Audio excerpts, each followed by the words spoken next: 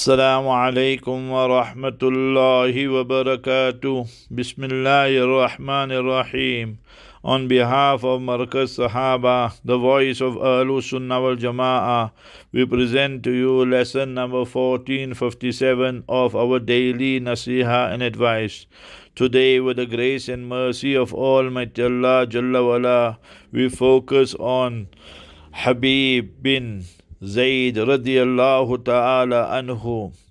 Sayyidina Habib bin Zayd radiallahu an and his father and mother were those fortunate personalities that they part participated in the second pledge of Aqaba.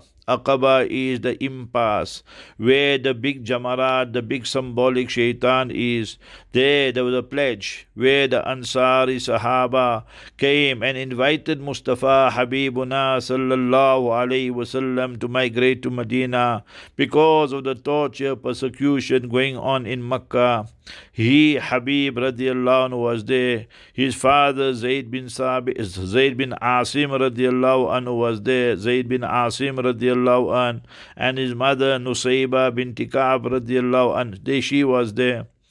While at that time there were two impostors, one was Aswad Anasi from Sana'a from Yemen, and the other one was Musaylamai Kadhab, the impostor. He was from Yamama near Riyadh side.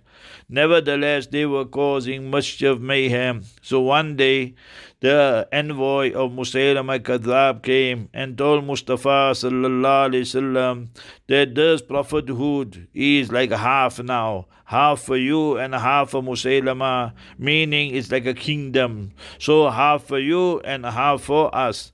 Mustafa sallallahu alaihi instructed the scribe to write from Mustafa Habibuna sallallahu alaihi wasallam to Musaylama Kadhab, the impostor. Allah Jalla wala gives this honor to only people who have Iman and Islam. And remember, you are an impostor and a liar.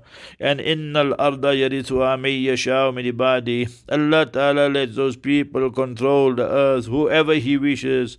Wal aqibatu lil muttaqeen. And the final result is for those who got taqwa. So in open way, Nabi Sallallahu Alaihi Wasallam told him he's a big liar and an impostor.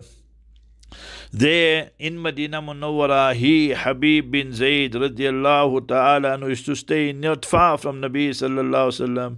He was selected by the Master sallallahu sallam to deliver this letter to Musaylama. When he received it, he was now crazy because he felt humiliated and disgraced.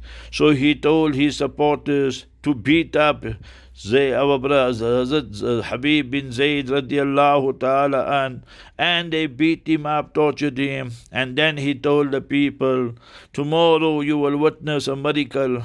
And the people were brought in their droves, and then he was summoned. That is Sayyidina Habib bin Zayd radiallahu ta'ala an.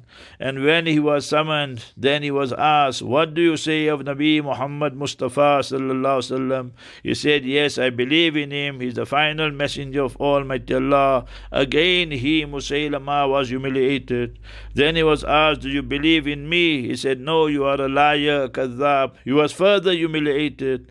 Now, with rage and fury and so forth, because he's supposed to show his people a miracle. And now, remember, this is what happened. Further humiliation. Hence, remember that this person here, Musaylama, and his crazy supporters, they took Sayyidina Habib bin Zayd radiallahu anhu, and they martyred him, and they cut his body to pieces, piece by piece. Obviously, Mustafa sallallahu received the news via wahi, and the news spread. His parents were very, very sad.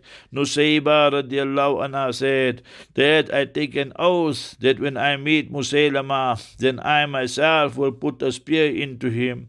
Lo and behold, it was the battle of Yamama during the time of Sayyidina Bakr Siddiq radiallahu an, and she had a sword, she had a spear, and waiting for the opportunity, lo and behold, that she was a lady who Nabi sallallahu allowed. If the need arises, then you can fight and combat the enemy as well. This was not the normal thing, it was the exception to the rule.